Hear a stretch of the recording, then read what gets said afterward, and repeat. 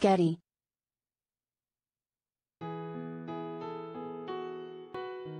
Amy Winehouse's dad believes the production company planning to make a biopic about his late daughter is playing a losing game, because it's 100% not allowed.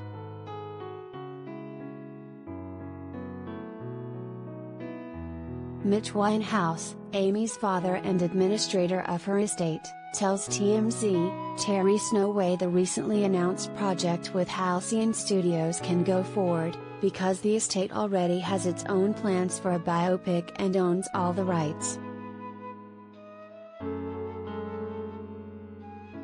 New Holland Publishers Limited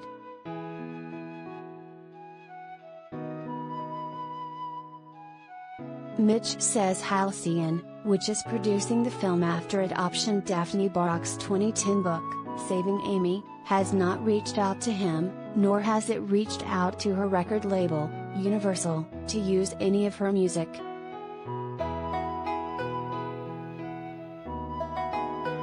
Amy's dad claims Halcyon needs permission from the estate to make a biopic because it controls her image, and definitely hasn't gotten it, and that Barak needs to do the same and has also failed.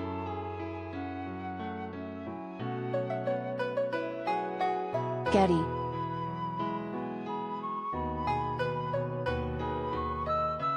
For her part, Barak says the project is not a biopic, but rather her story with her footage featuring herself with Amy and Belle Gunnesty.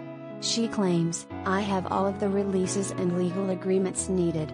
Just like the NFTs being marketed on OG2D, this material is also all legally my property to sell.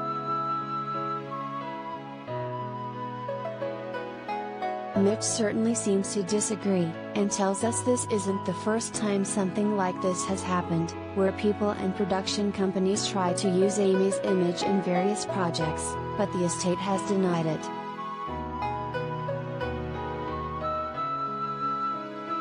Meanwhile, Mitch says Terry's an authorized biopic in the works with a large production company in the UK along with Universal, with plans to begin filming next year.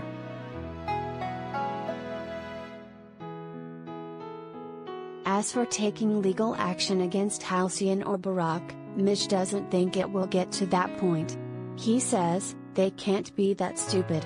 Everyone knows proper licenses must be granted.